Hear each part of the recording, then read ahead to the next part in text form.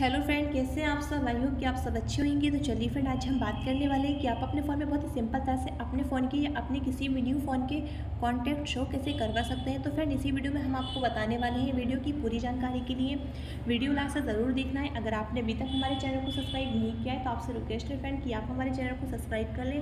बहुत simple simple step हैं जो आपको देखनी है फॉलो करनी है। तो फ्रेंड आइए वीडियो स्टार्ट करते हैं। आप अपने फ़ोन में कॉन्टैक्ट शो करवाने के लिए सबसे पहले अपने फ़ोन की एक एप्लीकेशन देखने को मिल जाती है कॉन्टैक्ट नेम से उसको ओपन करेंगे। इसको ओपन करने के बाद यहाँ से फिर आपको इस तरह का इंटरफेस देखने को मिल जाता है। तो फिर यहाँ से आपको आईडी पे क्लिक करना है।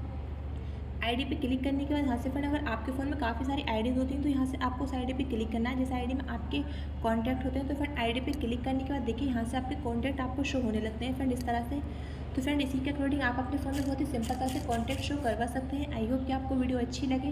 वीडियो अच्छी लगे तो वीडियो को लाइक करें शेयर करें। चैनल पर नए हो तो चैनल को सब्सक्राइब करें। मिलते हैं अगली नेक्स्ट इंटरेस्टिंग वीडियो के साथ। तब तक की नहीं पाए एंड टेक केयर